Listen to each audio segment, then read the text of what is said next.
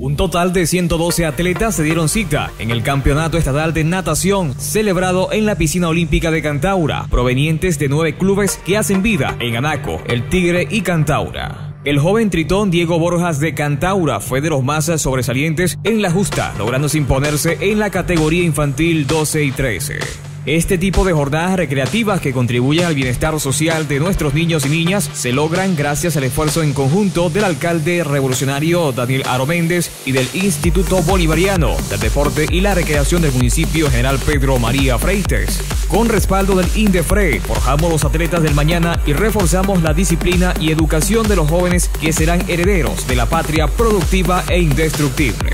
Haciendo deporte, construimos victorias.